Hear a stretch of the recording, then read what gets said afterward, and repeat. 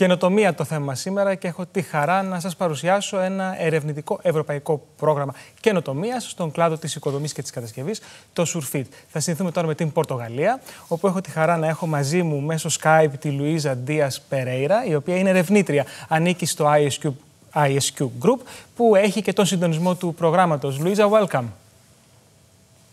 Uh, welcome. Thank you for the invitation. It's a pleasure uh, having you here on our show. So, could you please explain to us what is SureFit project? So, uh, trying to do it briefly. So, the SureFit project began in September 2020 and it will end in February next year. Mm-hmm. So, I could call it a pioneering initiative that aims at transforming the way that we retrofit existing buildings to enhance the energy efficiency across Europe. So, we are familiarized with the fact that greenhouse gases associated with the building sector account for roughly 35% of the emissions. So addressing this factor can and is, uh, I would say, crucial for meeting climate change goals. So the project focuses on developing advanced technologies that are both effective and minimally invasive, so making them cost efficient and broadly applicable. Also, if I can say, uh, I would say that the shortest part is its holistic approach. So we are not just focusing on the technologies, but also considering socioeconomic impact. So the project aims to improve not only the energy efficiency, but also the indoor environmental quality and the overall comfort for occupants, so contributing to their well-being. I can say that the goal is to overcome both technical and societal challenges to make these technologies widely adopted. And finally, I think that uh, another important aspect of the project is that it aims at uh, impacting the educational uh, sector. So, with the outreach efforts that we have been developing, we are aimed at raising awareness from the various stakeholders. And for the viewers, I can say that uh, maybe there is, um, we could, okay, uh, look for us at the project website, uh, surefitproject.eu. Yeah, that's best way to get acquainted. Yeah, that would be great. But how is SureFit funded and uh, what countries, who, who, who participates?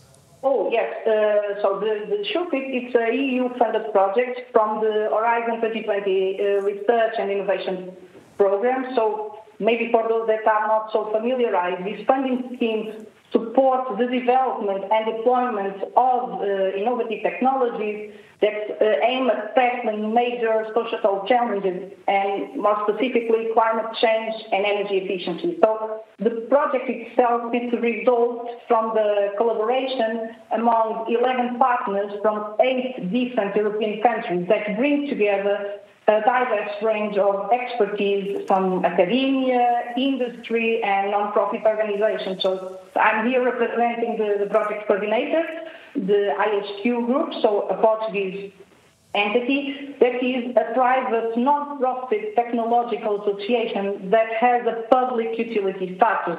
But we also have, for instance, two universities, the University of Nottingham in the UK and also the Aalto University in Finland.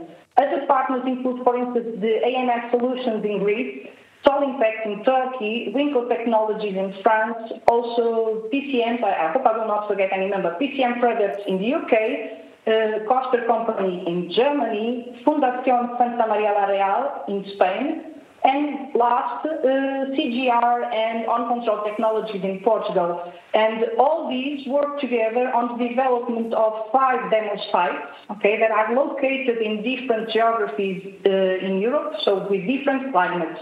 We have one case, uh, social housing Mafra, Portugal.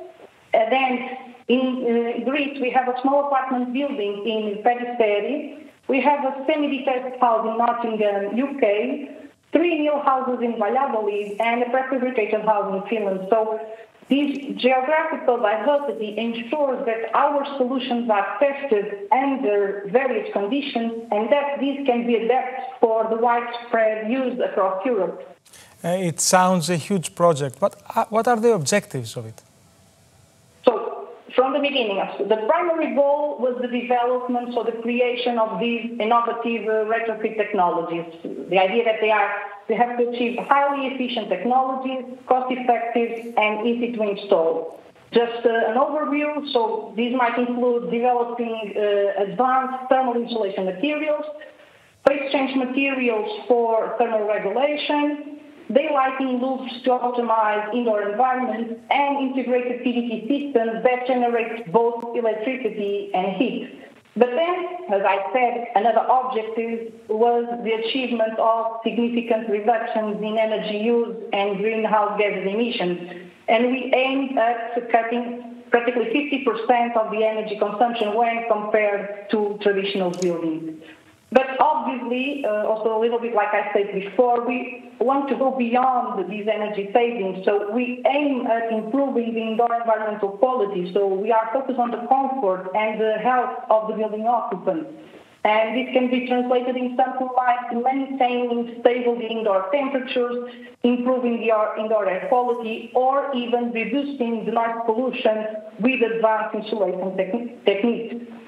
Also, we thought of these technologies and we thought, okay, we will not keep them for themselves, ourselves. So we want to facilitate the widespread adoption of these technologies in different building types and contexts. So this involves developing these user-friendly technologies that can be easily implemented alongside with providing uh, comprehensive guidelines and support to uh, ensure successful adoption by all stakeholders that have to live with the technologies. And uh, maybe as a final goal, I think that we uh, aimed at promoting uh, sustainable development. So the project focused on the broader, I would say, socio-economic impact of the building retrofit, and this includes naturally uh, reducing energy poverty, creating jobs in the green economy, and promoting sustainable living practices. But also, I, I, I, must emphasize this part. So, through the education and outreach activities, SureFit aims to raise awareness and foster a culture of sustainability among all stakeholders and even the general public. Um, Luisa, we are running out of time, so I have one last question, which is uh, about the outcomes and the results of this research up to now. Well, uh, I, I know we are ending, but just to, uh, I think it's worth mentioning that the project hasn't finished yet. Okay. okay. So it is still ongoing, and many of these technologies have been recently installed. But uh, I would say that uh, some, I would try to point uh, five uh, outcomes of the project. So the first one, and it was a challenge, it has been a challenge working on the project, has been the, the development of these advanced retrofit technologies. So they are now being rigorously tested and validated, proving their potential to transform the energy efficiency in the built environment. For instance, we have installed in the mill houses in um, Valladolid very recently the PCM systems. For those that are not aware, it's a, a, technology that acts as a thermal battery using the elements to charge and discharge energy.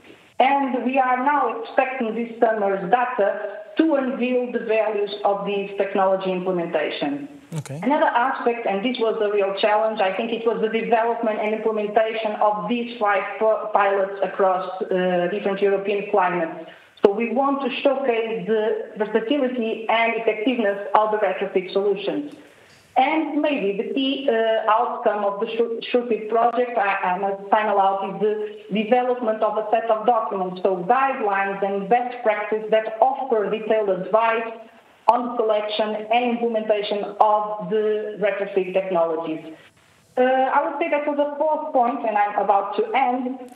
We, I said already that we aim at improving the energy efficiency, but I like to signal that beyond this, okay, we are not just reducing the energy costs for the building occupants, but we also want to contribute to the broader efforts to reduce carbon emissions and fight climate change. And I'd like to make a point here. So the new EPBD or the EPBD recast has just came out. Okay, and uh, it is clearly stated, so the existing buildings retrofit, it is the path to an effective greenhouse gas reduction in the building sector. And finally, okay, I might say that uh, so far we have highlighted the economic benefits yeah. of building retrofit, so not only including lowering the energy bill for the house owners, but also increasing the, the, the value of the properties and also through the job creation in the construction sector. finally, I would like to say that from the social point of view, the project has also been improving the living conditions of occupants and increased awareness of sustainable building practices. Thank you so much for the opportunity to unveil a little bit of the project. Thank you, Lisa. You will uh, keep us up to date. It was a pleasure having you.